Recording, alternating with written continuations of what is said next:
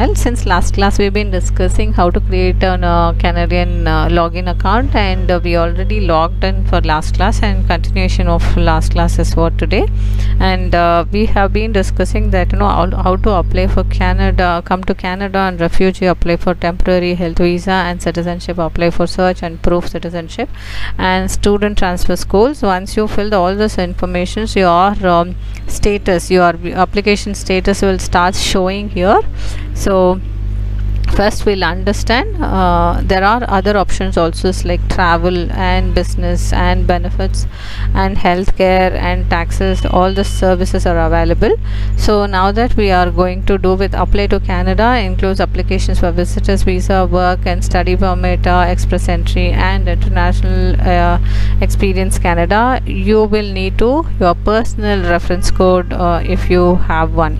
So just apply for uh, Canada. Here it will be asking you please enter your personal reference code uh, for begin your applications if it is required so we'll say that you know visit a visa study and work permit express entry. I just create express entry. Find out if you are eligible to apply so if you wanted to yet choose the provincial or territory you are most interested you have to select any of the provinces that you are most interested. Yukon saskatchewan quebec uh, prince edward island ontario Nunavut, Nova Scotia, North Territory, Northwest Territories, and Newfoundland and Labrador and New uh, Brunswick and Manitoba, British Columbia, Alberta. Most of them are looking for either Ontario or Al Alberta. You can look for others too. I just go for Ontario and I'll just say next. Here uh, you need to submit a language test results for the all the all programs under the Express Entry profile. Even for the English and French, you first time lang uh, first language which languages test did you take uh, for your first language uh, official so i'll say ielts next uh, what date did you take this test? Because you know it is valid only for two years so they definitely would uh, cross check whether you are eligible to apply for this. Uh, i would uh, randomly put some date recent date or uh, this year date only i would put uh, so that you know i'll be accessible. Some date i'll put. Okay. Next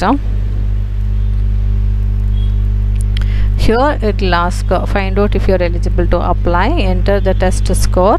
So if you're uh, above triple seven or uh, 7.5 then only you are eligible to apply. If you're lesser than 7.5 or 8 then um, then it is difficult to get a good score so i would not i would suggest you to score good points in your ielts so do you have any other language results which is language test mm, they're asking for uh, any TOEFL exams that you have done? I would say none.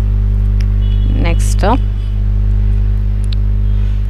next one is in this last three years how many years skilled workers do you have Ca in Canada? If it, it must have been full-time or equivalent amount in part-time. So if you have worked you can say less than a year or if you are not taken uh, which pro occupations they do have a skill level of A B C and um, zero level. Only these three are eligible to apply for your um, express entry profile uh, the skill level i already have made a separate video. You can cross check in my description list um, so if you're this level if you're less than this also you can if you do not have experience you can say none. And next here um, in the last 10 years how many years of skill work experience do you have? It must have been continuous paid full-time or equal amount in part-time. You should say what whatever the experience that you have and select that you know if you're not sure NOC code um, you should say that you know uh, find out uh, NOC code. You can check here. I have made NOC code also separate video. You can check there less than two years and two or more years of work experience that if you have. And find out if you are eligible to apply. Do you have a certificate qualifications for canada provinces territory in skilled trade? Uh, if you have yes you can say uh, if you do not have you can say no.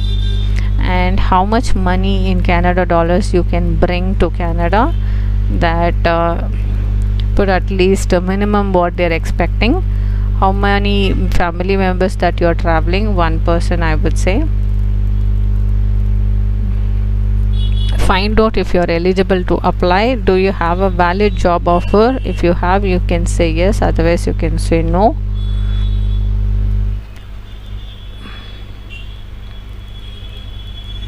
And uh, what is the date of birth you have to give a date of birth here.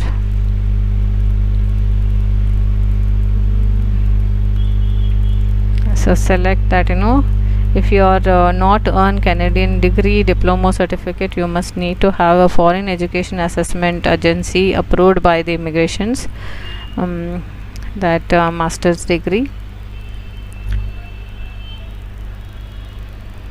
and I have studied full-time in Canada or two years more. I have at least two years of full-time work experience in Canada. I have relative uh, relative in Canada who is 18 years old, older than. So I'm not uh, suitable for all these things. I just say no for this none of above. And uh, what is your marital status? You should say married or legally separated divorced or married widow or common law never married single and uh, so based on your answers you are uh, appear to be eligible for express entry profile. When you click here continue we will be um, guided through the following steps and complete your profile. Complete the express entry profile builder and review your profile and submit your profiles after you submit your profile you will see a page that confirms that your profile has been submitted. It will be more um, uh, it, it will have a more information next steps. So once you click continue it will be updated in your uh, profile. Um, what is your last name and what is your first name what is your gender? Again it will ask uh, every details and you should uh, um, give complete informations and submit. Next class we will be discussing uh, how to fill an express entry profiles uh, complete informations. Today's class that's all friends. Do like my videos and subscribe my channel for more updates. Thank you and have a great day. Bye